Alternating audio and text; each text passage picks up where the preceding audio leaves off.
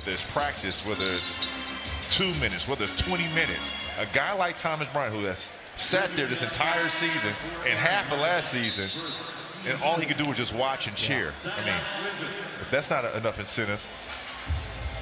Well, we got a timeout here on the floor for.